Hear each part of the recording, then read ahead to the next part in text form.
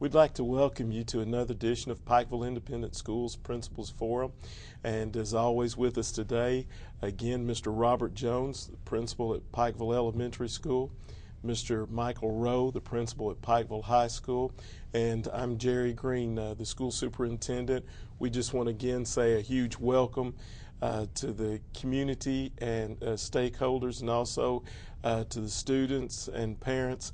It's been just a phenomenal beginning to the school year this year.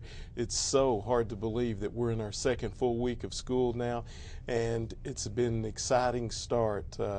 Not only the extracurriculars with the Pike County Bowl games, and of course, we've got volleyball and soccer going on, and golf, and uh, many of the other sports and the extracurriculars, whether it be the Little League, the chorus, uh, the other extracurriculars going on at the elementary school. Uh, the first week and a half uh, uh, this past week have been just stacked with open houses at both schools. Uh, let the principal share some of uh, that news shortly, but enrollment is increased at Pikeville Independent Schools. If you haven't heard, you will shortly about some of the wonderful things regarding uh, test scores and the results of both students and staff's hard work in our communities. And we're just so proud and delighted to uh, have an opportunity again to share with you some of uh, these exciting things going on. Uh, Mr. Rowe, I know that you've got a, a litany of things that uh, you'd like to commend the students and staff on. First of all, we just want to say we're extremely excited and proud of our ACT rankings. Uh, when our ACT was completed last year, we were getting individual scores in little over time, and we kind of knew where our average was going to be, and we were pretty close on that calculation. But we didn't know was where we were going to rank as compared to other schools.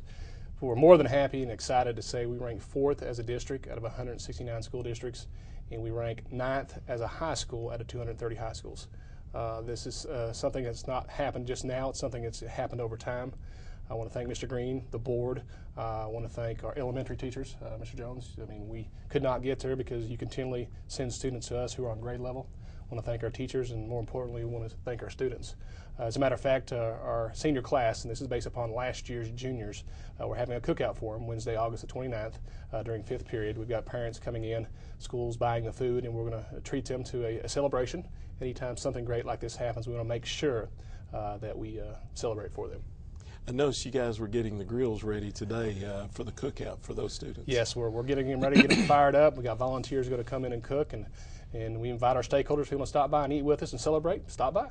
Well, it's uh, kind of exciting. We were concerned and wondering how the juniors was going to uh, meet the bar where the last year's seniors had raised the bar concerning your graduation rate.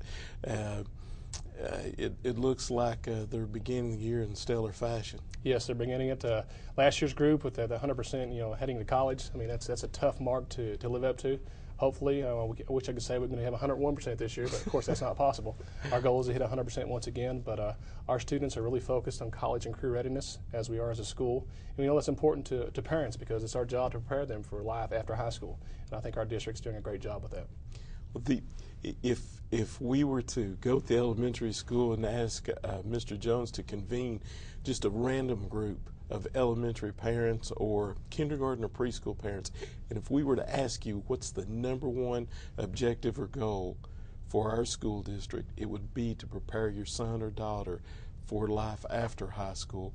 And I want to commend these gentlemen and our staff for really being focused on doing that uh, something that so many people have asked about the success and, and, want to thank each of you for those of you that have sent uh, congratulatory emails and notes. It's uh, we'll try to share those with the students, pass those along to staff, and uh, it's just positive for our community.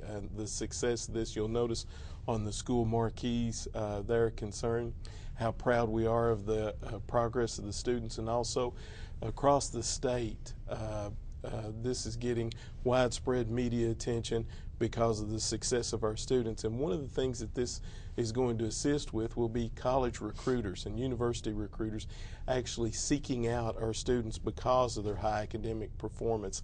And that is just another bonus as to what what occurs because of the hard work that's went into this. And something that we try to stress is that it's not just that junior year. That all this occurs, the foundation being laid at the elementary school, and then in junior high in grade seven with that Explorer test that uh, that our district gives in addition to the eighth grade Explorer test and analyzing those results and focusing on the plan test to eventually move up to the 11th grade year for the ACT. And something we need to commend uh, the staff about too is for those seniors that, although you're number four in the state uh, on the uh, ACT, if they're wanting another point to get a certain scholarship, that we not only work to do well academically on the ACT our junior year, but also for those seniors.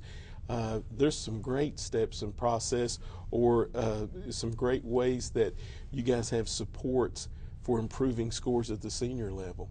Yes, uh, we know to, to get the scholarships that, that the parents want and, and the money that'll help and offset uh, paying out of parents' pockets is getting the ACT score up. So we've got many programs uh, in our library students can check out, uh, online, free online resources, and we've got teachers that are willing to stay after school to provide that extra help they need to improve those scores. Uh, I don't know, so I don't really know if our students realize how important that ACT is, but I know as parents we do, and uh, we're working very hard to make sure they get the highest score possible. That's our, that's our goal. Uh, something that I need to commend the staff on is uh, there, there, was a meeting the other day uh, dis- discussing ESS or extended school services or tutoring after school, and uh, need to commend the staff because several teachers just volunteered to stay without pay after school for the benefit of the students, and I just want to commend them on that dedication and and uh, their hard work and efforts, and that doesn't go unnoticed, whether it's the administration or the staff. And uh, I know that our board members and district are, are, thrilled to see that kind of attitude. So, congratulations to both of you on those scores, and as you said, especially uh, to our students. It's that's just phenomenal uh, for them. Mr. Jones, the first thing that you'd like to highlight, because I know you've got a list of good news also. well, actually, I want to begin by uh, just amen you, uh, congratulating Pikeville High School. Uh, it's a phenomenal accomplishment. Uh, the I was thinking about this when I heard the uh, results uh, the other day. You know, I've been in this business about 21 years, and uh, I can remember. You, you, know, we've tested all these years, and and sometimes we even question, you know, what exactly were we testing? Uh, you, know, you, know, know, over the years, but now we, you know, we have a, a testing system that I feel is more geared towards, you know, the college and career readiness. It's something that's measurable, and you know, everyone knows the ACT, and uh, you, you know, when you take an ACT and, and you say your school is ranked, uh, your district is ranked fourth in the state, you know, that speaks highly. Uh, you know, everyone knows that's the ACT. Everyone's familiar with the ACT. So, you know, I can't congratulate uh, the high school enough, uh, Mr. Rowe. Uh, that's a wonderful accomplishment. Thank you. and we really are are you know very proud of you. Um, you know, I'll begin by highlighting one thing, if that's okay you know, our biggest uh, uh, thing coming up in the next little bit that I want to get the word out there is is our Grandparents' Day. Uh, you know, that was number one on my list of seven or eight things here is, is to bring that out because every year uh, we try to do a lot of things at the school to bring in the community. Uh, you know, because you know, obviously, the younger the children, you know, the more they want their parents involved uh, and, and, grandparents involved, and, and, you know sometimes you know I guess as the children get older, uh, you know high school age that kind of backs off, but uh, you know our kids want their parents there, want their grandparents there, and uh, you know we try to do things to highlight their activities. And uh, on September the uh, sixth, um, on Thursday September the sixth, it's our first big night or event. I'm sorry, not night, but event of the year our grandparents' day. Uh, you know, it's grandparents slash grand friends day. Uh, you know, students you bring in their grandparents uh, or a significant uh, you know person in their life. You know, can be mother, father, and uncle.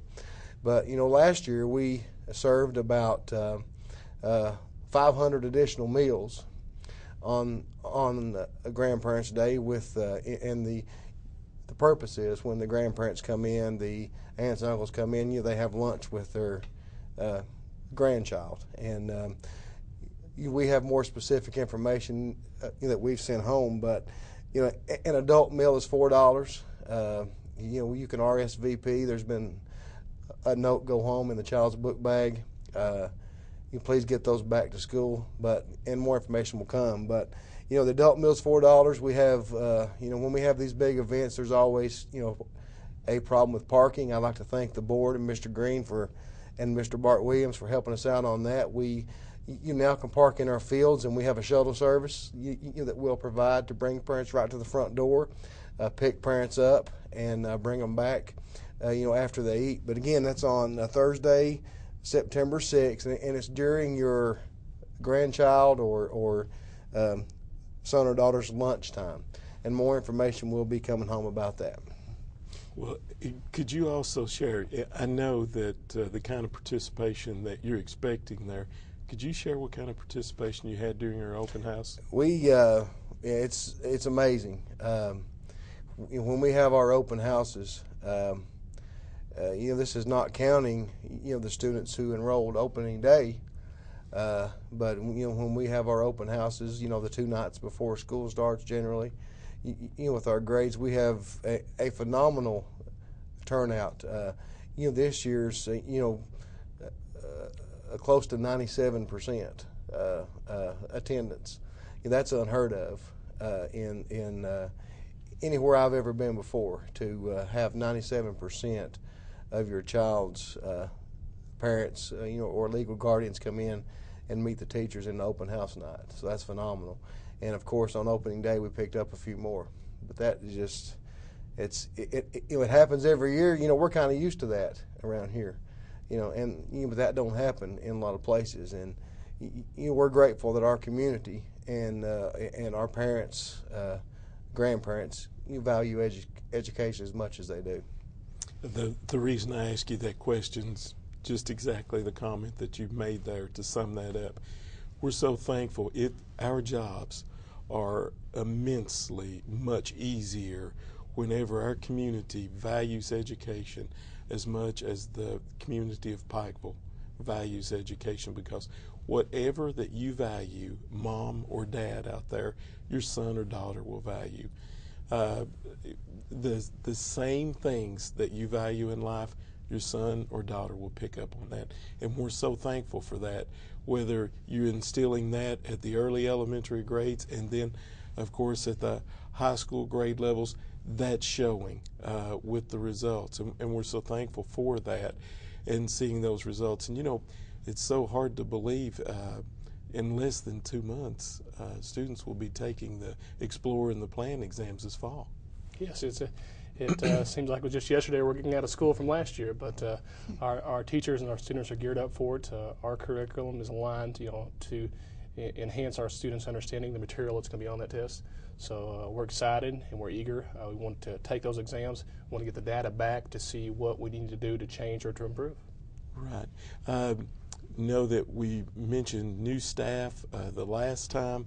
Uh, we've also got not only new staff, but I know that, uh, like Dr. Bersalia especially, uh, has got uh, many new instruments and equipment to be using too. Very excited about that. Uh, As a school, we were able to come up with 5000 additional dollars. I know Mr. Green, I want to thank, uh, thank you and the board for finding additional $15,000 to, to buy this equipment. Uh, it, was, it was much needed, and I can tell you after being at the Pike County Bowl and listening to our percussion section of, the, of, of our band, the money was well spent. Uh, Dr. Masalia is great with our kids. Uh, our band is growing. It was great to see uh, our band out in full force and, and kids enjoying being in the band. Right, and and I know something different this year is uh, our band director's traveling to elementary school for also grades uh, five and six. Yeah, actually, he begins his day at the elementary school. Uh, he he does our sixth grade band uh, first period, and he does a fifth grade general music class the second period. And I will echo uh, you, Mr. Rowe's comments. He's doing a phenomenal job. Uh, uh, you know, and and I also want to compliment uh, you know, him. I was at the Pike County Bowl uh, Saturday night, saw the band. I thought the band looked sharp. I thought the you know, I thought the instruments looked sharp. So. Uh, you know, kudos. I'll steal a phrase from Mr. Rowe, but kudos to uh, Dr. Bersalia and the band. Uh, well, on that same note, I noticed that uh, your chorus program just started this week too. So you may want to share some of that information concerning Miss Kelly. We, uh, you, Miss Kelly, of course, is, our uh, music teacher. Uh, uh, you know, the rest of the day after Dr. Versailles goes back to the high school to assume his duties over there. But Miss Kelly started a chorus, you know, recently. we had at our best count actually pretty close to accurate count was about 60 kids already uh, wow. in course. Um, she generally has a great turnout. That's you know that's children in fourth, fifth, and sixth grades. Uh, you know she generally has a, a great turnout, and and uh, not much turnover. You know the kids you know seem to stay with her and stick it out. So uh, you know that has begun. Uh, any you know anyone out there if if your child uh, is in grades four, five, and six and not in chorus they'd like to be in course at the elementary school, please have them contact us. Contact Miss Kelly about getting signed up for that. But again, uh, this just a great number. Well, I know that uh, uh, Mr. Rowe just mentioned the way the band sounded at the uh, Pike County Bowl game.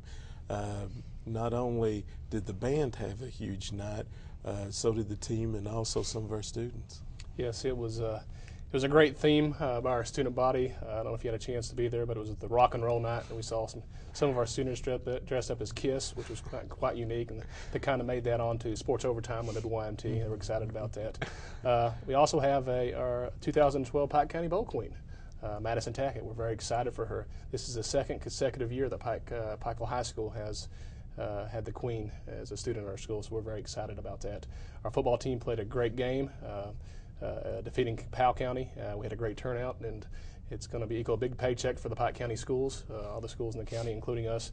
I want to thank Community Trust, and I want to thank WYMT for allowing us to be a part of it. Oh, that's that's huge there, and I know extracurriculars at the elementary are going strong with the little league programs. We are. Our our um, little league football's up and running. Uh, we, you know, of course, our basketball uh, program started a little later, but uh, your Little League football's up and running. I have an announcement here from Mr. Howard. Uh, he wanted me to share that uh, the first Little League football game, uh, that's in grades two through six, uh, is going to be uh, September 4th, Tuesday, September 4th, and all those games will take place at Bob Amos Park. So we're excited about uh, you know the number of kids out for Little League football. we appreciate our volunteer coaches. you know they're not paid a dime for coaching. Uh, you know they do it because they love the game and they love children. And I appreciate Mr. Howard leading uh, you know, those programs for us, uh, and also Miss Prater, Miss Haynes.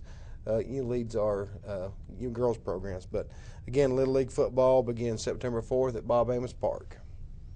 Okay, great. Uh, anything uh, else on the roster at the uh, high school? Yeah, a couple of, a couple more kudos and a couple of events that's going on. Uh, we'll say again kudos to our band. Uh, we had a lot of uh, folks, a lot of alumni that came to the Pike County Bowl, and uh, we're very excited about them. So kudos to, to a great start for, for the year.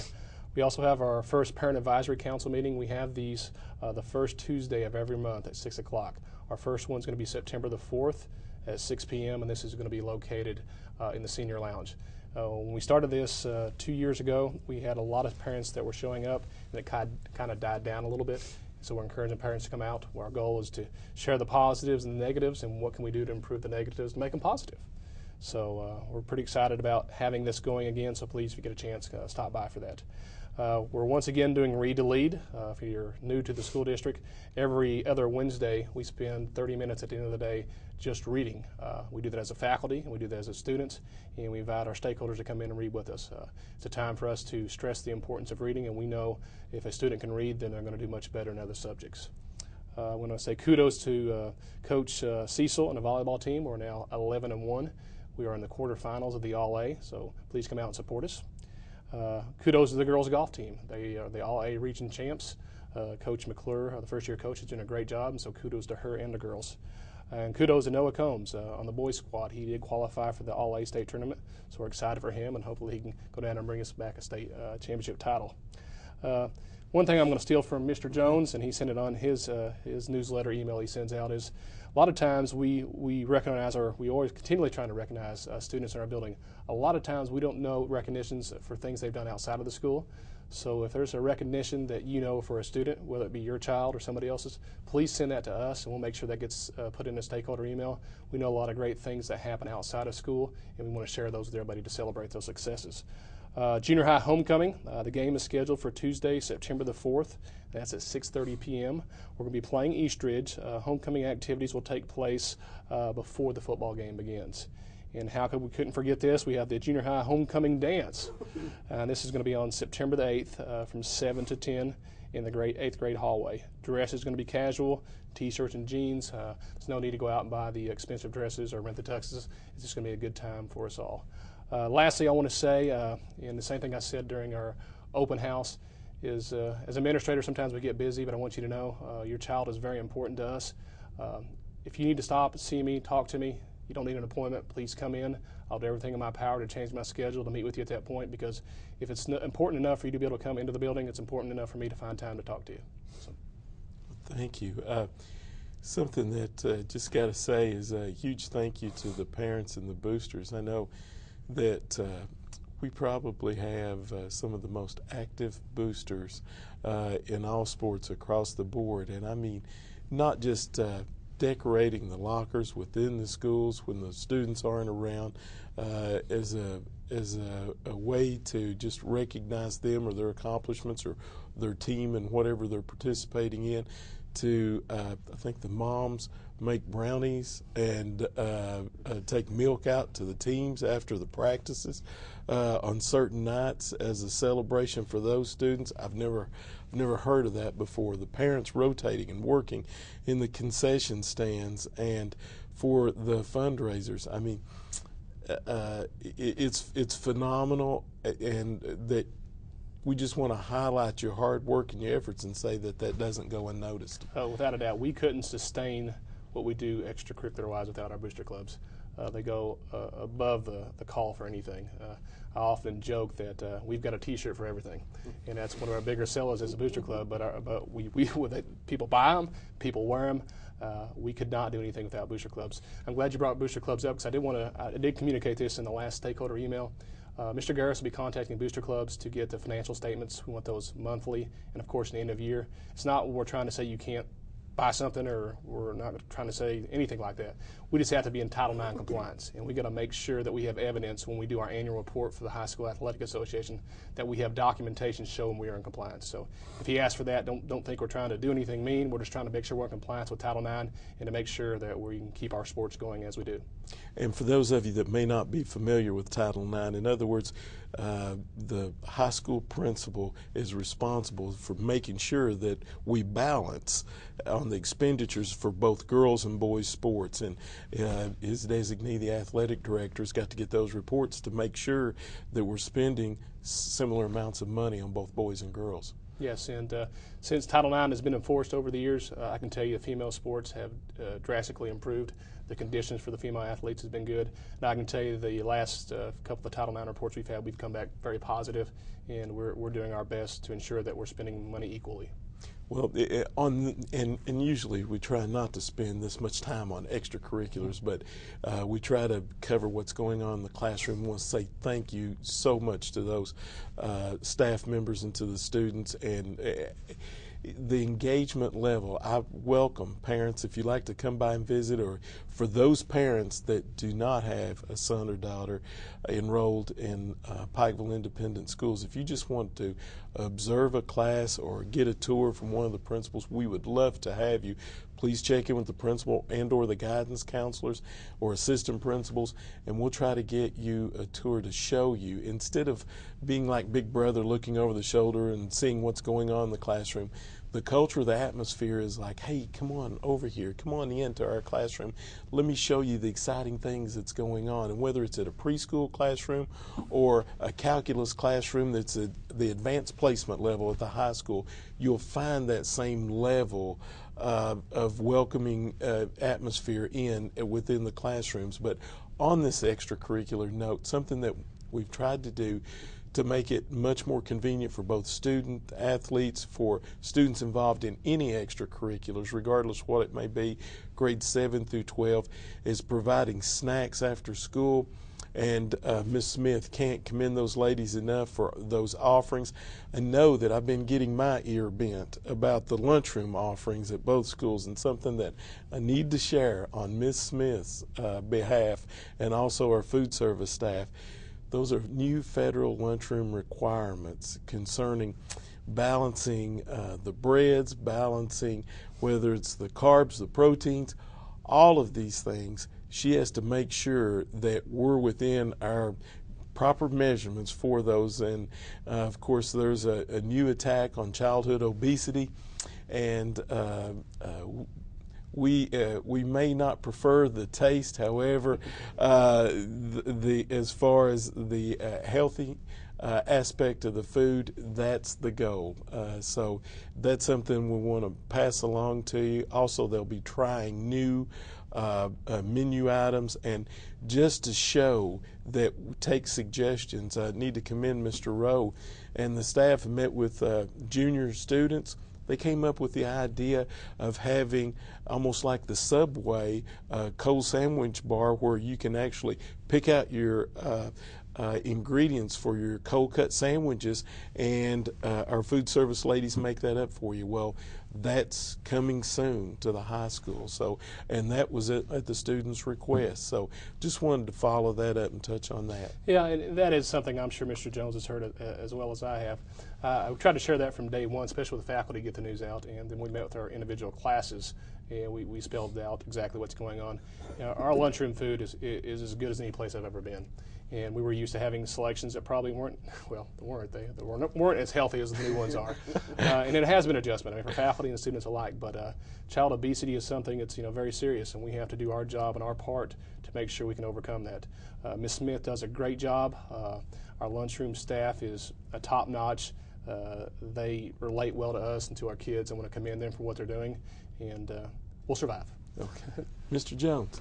Yeah um, you know, I want to echo Mr. Uh, you know, Rowe's comments. We have a great lunchroom staff.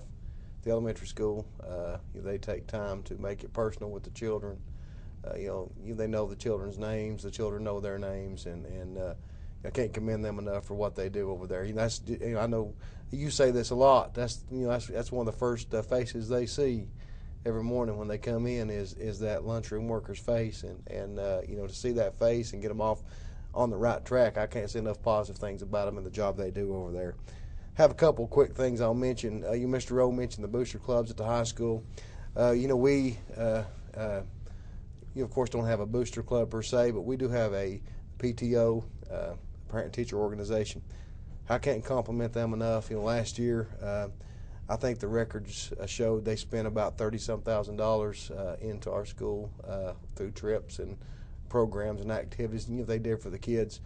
Uh, you know, this is an a organization that's very active, uh, but is very small. Uh, you, they are looking for uh, uh, anyone who's interested, uh, any parent, you know, grandparent, you know, community member. If you're interested in being the, in the Pikeville Elementary PTO, please come to the meetings. I can get you the information. I'll put that in my next. Uh, stakeholder email, you know, the dates of the meetings. They're working on finding a date right now to be a consistent uh, you meeting date in the month. But you know they've done a lot of work with uh, with uh, a, few people, uh, and and you know they're looking for more uh, more people to get involved. But then you know that's a very valuable organization to us. And please uh, you know support the PTO and come out and help them. One of the big things that's that's always asked early for us is is our pictures fall pictures will be Wednesday, September 19th.